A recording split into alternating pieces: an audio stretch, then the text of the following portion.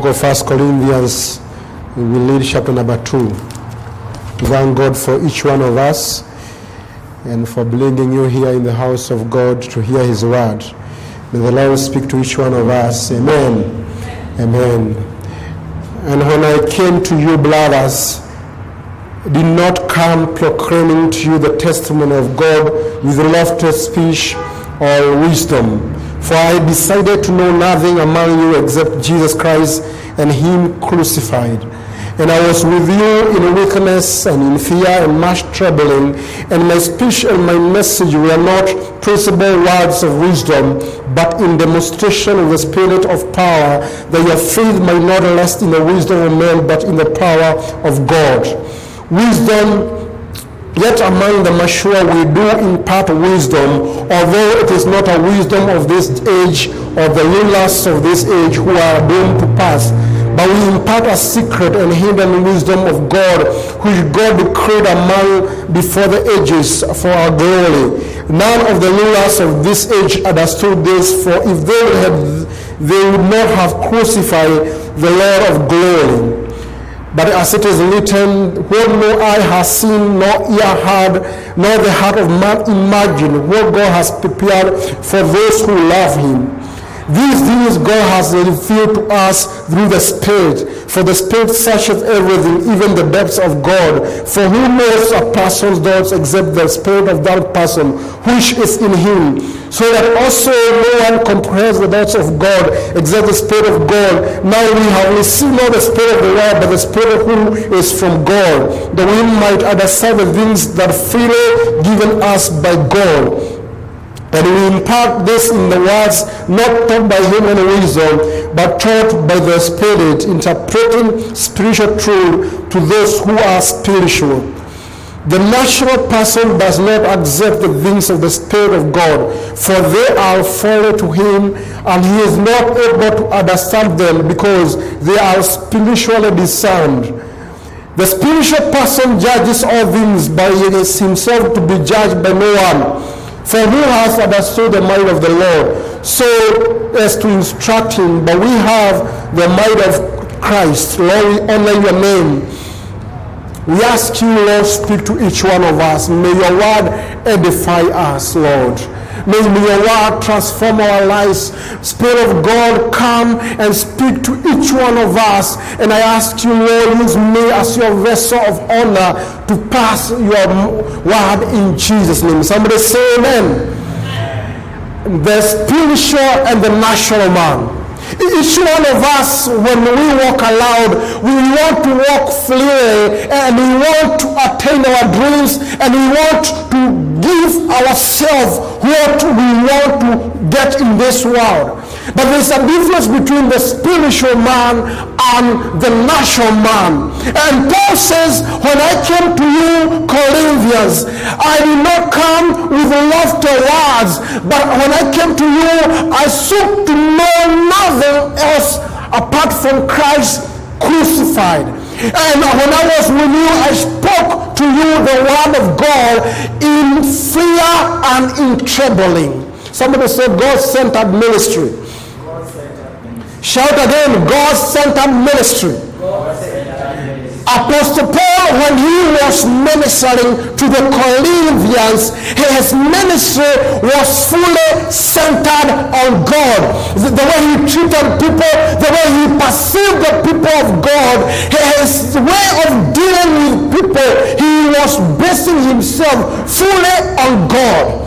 And God is looking for men and women of God who shall base their ministry, who shall center their life on God and God alone.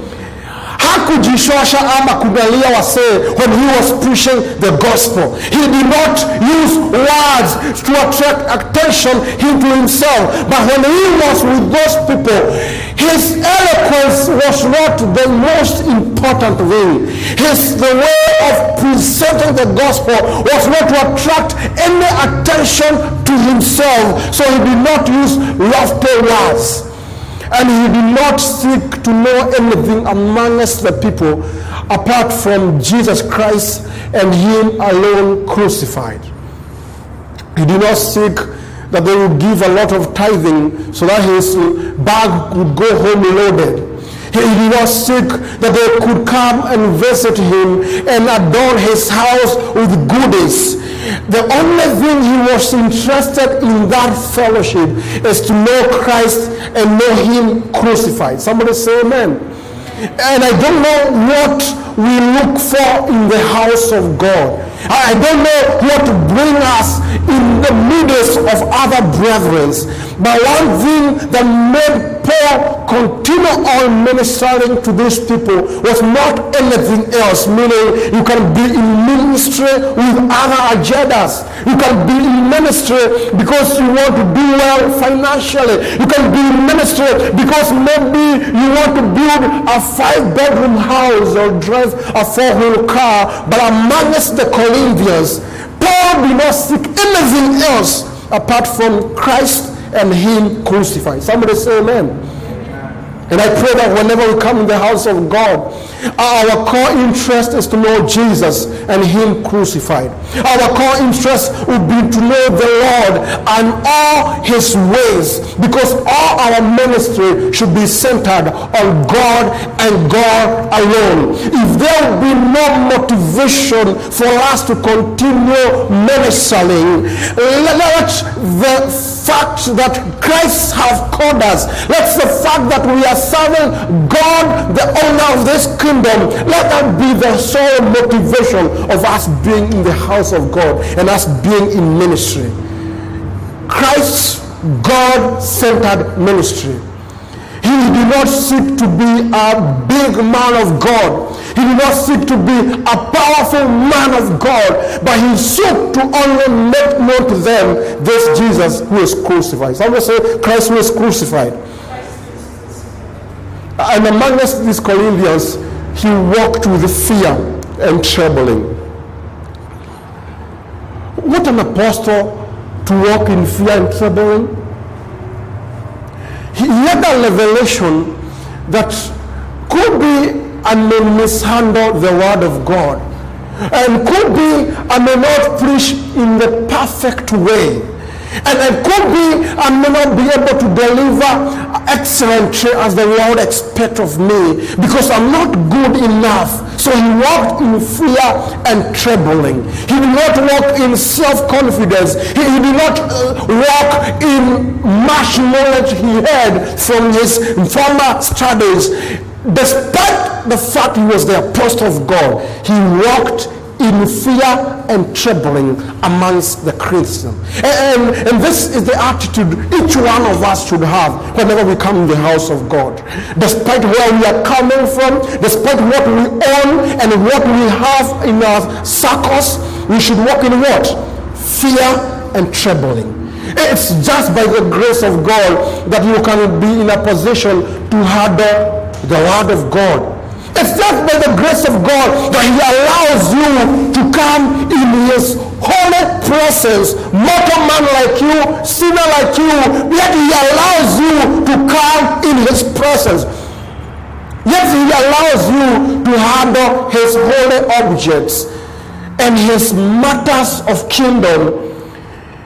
Who are you for God to give you such a privilege? And, and Paul had the, the, the, the revelation. It's by grace of God. It's not because I've worked for it. It's not because I'm qualified to do it.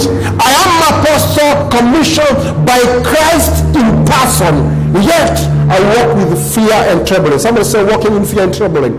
Because we have missed the fear and trembling component of our calling in Christ Jesus. Siku hizi we want people to serve us. And we don't want them to serve God, we want them to serve us. Because the component of the fear and trembling in the calling of the Lord is no longer in our churches. It's no longer in our walk. It's no longer in our midst. But the Lord is calling each and every Christian, each and every minister of the Word of God. When we are dealing with matters, the kingdom of God, we walk in what? In fear and trembling. Fear because we are not good enough yet.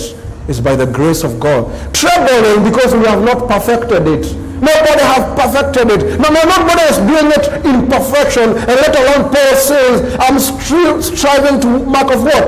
Perfection.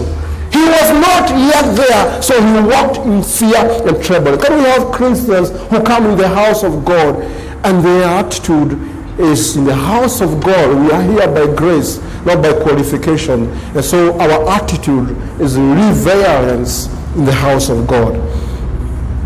And the words we speak are not human wisdom. His ministration was not based on human wisdom. His ministration was based on the understanding of the Spirit. I did not persuade you with lofty words. But in my ministration, all I was seeking is to demonstrate the power of the Spirit. Somebody said the power of the Spirit. The wisdom of man is good. But, but for Paul, he did not do ministry with the wisdom of men. He did ministry under the power of the Holy Spirit. And I want to call upon each and every man and woman of God, each and every Christian. This thing cannot be done by human effort, by human wisdom. We must allow the Spirit to be at work. And he was seeking to demonstrate the power of the Holy Spirit. Somebody say the power of the Holy Spirit curriculums and programs are good, but besides that, what moves and increases the kingdom of God is when the Spirit of God is at work. Somebody say the Spirit of God. We cannot kick out the Holy Spirit from our ministries, from our churches, and, and we see the advancement of the kingdom of God. He was not keen on philosophies and wisdoms of the people of this world. He was in to demonstrate the power of the Holy Spirit. And I trust God that each one of us will desire, whenever they are given a chance to lead the praise and worship, to allow the Spirit to work within us. Whenever we are given a chance to welcome people in the house of God, we submit to the leading of the Holy Spirit. Whenever we go from this door to door, knocking on the people's doors, we allow the Spirit of God to work within us. Because when the power of God is at work, the kingdom advances. And all our ministry, we must seek to see the power of God at work. Somebody shout amen. And when the church in Kenya will allow the Spirit of God to be at work, we are going to see many come to the kingdom of God. Because no one will come to the kingdom of God unless the Spirit of God draw them to Himself. Any kind of human effort will be futile because even in the beginning, the early church did not depend on human effort, human wisdom. They all depended on the working of the Holy Spirit. And the things he taught them, nobody could understand them if they were not in the Spirit. And he says, We proclaim the secret wisdom of God. So there is the wisdom of man, the philosophies, the motivations, the psychology. There is the wisdom of God, and there is the wisdom of men. And Paul was given to them the secret of the, of the kingdom of God. Somebody says the secret of God. What is this? From the beginning, God had a plan to save mankind. Uh, and he had a plan to use his only begotten son.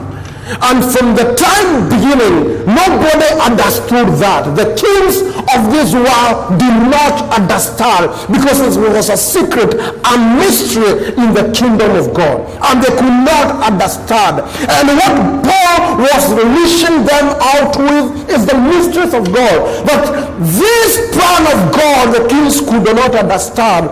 God saw it wise to reveal it to us.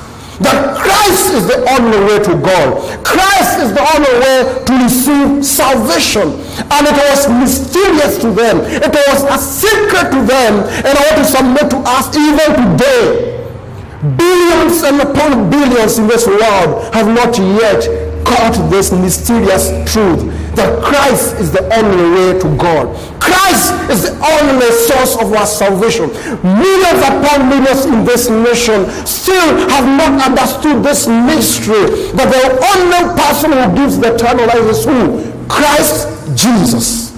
They, are still not understanding it. And one of the things Paul was revealing to these people is that Christ is the way, the truth, and the life. And in this generation, most of us have ignored this truth. Yes, we have heard it, but do we care? Yes, we have heard it, but we have better things to focus on, and so we ignore the secret of the kingdom, the truth about the kingdom, that Jesus is the way, the truth, and the life. And if they had known he is the King of glory. They could not have crucified him. Because they did not understand anything. It was still a secret to them. They could not understand it. And so they crucified him. And so the scripture asks, if they had known the one they are crucified is the King of glory, they could not have done so. Why? Because when they crucified him, they dethroned their own master, the devil by the of them opposing Jesus and going ahead crucifying him on the cross, they actually dethroned their master, the devil, and now Christ Jesus is on the throne because they do not understand anything by them crucifying him. In fact, they were contributing to his glorification. They were contributing to his accomplishing the mission he had on this world because they do not understand Praise be to Jesus. The secrets of the kingdom. They, they cannot be understood by human wisdom. And he says to them, the things God hath kept for us, no eye have seen, no ear hath heard, because it's still a secret. Nobody have heard of it. You see, people are coming with movies and all these kind of things like they are surprises. But the things God has kept for us, no eye have seen, no ear have heard. Still a mystery, still a secret. But us who are in spirit, we understand. Very soon and very soon, we are going to live with Christ Jesus with everlasting King of glory forever and ever. Very soon God is going to bring a new heaven and we shall dwell with him forever and ever. Somebody say amen. And some may think this is foolishness. Because even those times they could not understand the mysteries of the kingdom. It is not foolishness. I want to submit to you, brothers and sisters, wherever you are hearing us from, that this is not foolishness. The fact that Christ is coming back again is not foolishness. The fact that we are going to live with Him forever and ever is not foolishness. The fact that you don't understand it does not mean it will never come to be. Praise be to Jesus. What God has kept for us, no eyes have seen, no have heard. We can only imagine. Somebody shout amen. amen. Somebody shout amen. amen. Because the things of the Lord, we can understand them only through the Spirit. And he cautions them. A natural person will never receive from the Spirit. Somebody say a natural person. Now, there are three kinds of people. There's a natural person, the way his mother or her mother gave birth to him or her. Naturally, they have five senses. They can taste, they, they, they can smell. They have the five common senses and they live naturally. And the natural person cannot receive from the Spirit. They cannot discern the things of the Spirit because they are what? They are natural. Because spiritual things are spiritually discerned. So this natural person will never receive the things of God. As simple as that. And for them to receive the things of God, they must be born in spirit. Somebody say in spirit. For you to receive the things of God, you natural man, you must allow yourself to be born water and what? Spell it. For you to receive the things of the kingdom. So, so don't be surprised if what ministers of the world speak is weird, is funny. I heard some people say that is funny. No, don't, be surprised when these things sound foolish and funny to you. Because could be you a natural person, but tonight God is calling you to be born in spirit through salvation. Somebody say amen. Uh, and he says this natural man can never receive from the Lord. Uh, and this the second kind of a person who is spiritual and also natural, hybrid. They are called what? Carnal. Carnal men. They, they, they can receive they pursue the things of the spirit when they are in flesh. And they are in spirit, but still they are pursuing the things of the flesh. They are hapo katikati. Wamechaganyikiwa. Praise be to Jesus. They are hybrid. And the Lord is not calling for us to be carnal people. He is calling us to be purely spiritual people. Somebody says spiritual people. Because spiritual people can discern the things of the spirit. The enemy fights us, brings us down through deception. Through what? Deception. Anytime the enemy succeeds to bring somebody down, one of the tools he uses is what? Deception. One of the things that, that the enemy will uh, expressively use in your life is deception. And he will make you live a depressed life.